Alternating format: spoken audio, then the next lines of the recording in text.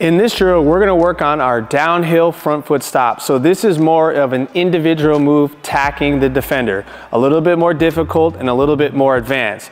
Now again, we're gonna shoot from five different locations around the horn for five minutes total. Try your best to switch the direction that you're going as well. Now in this drill, we're going to catch the basketball on a split catch and we're gonna attack downhill one or two dribbles.